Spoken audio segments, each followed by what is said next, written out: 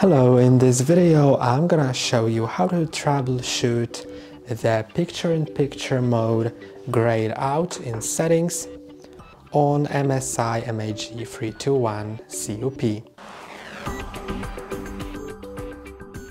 If you have the picture-in-picture -picture or picture-by-picture -picture unaccessible and grayed out, that may be because you have um, uh, settings in the gaming uh, category set wrong. So go into gaming, then go down and make sure that Adaptive Sync and DSC are both off. If they are both off, then you'll be able to access picture-in-picture and picture-by-picture. And now you can set it to, I'm gonna set it first to picture-in-picture -picture and you can see it works. I have Windows on the big picture and macOS on the small picture uh, because I have two laptops connected.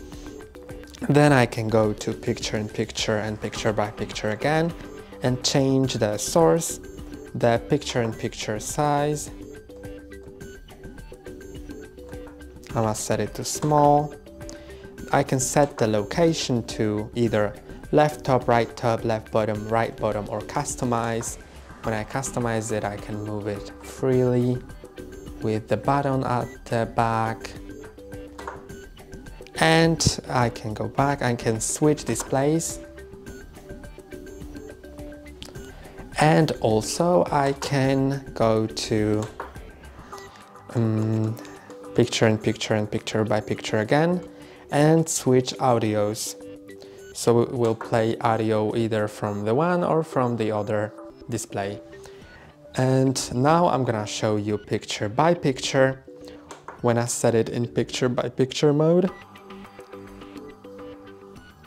Then two picture, uh, two displays are gonna be next to each other.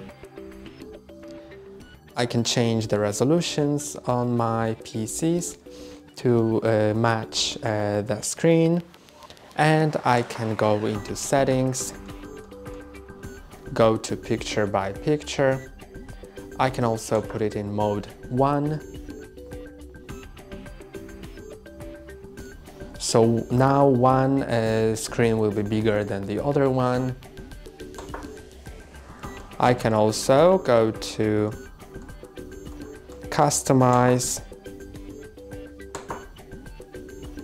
to customize the line where it will, uh, where the um, displays will end and start.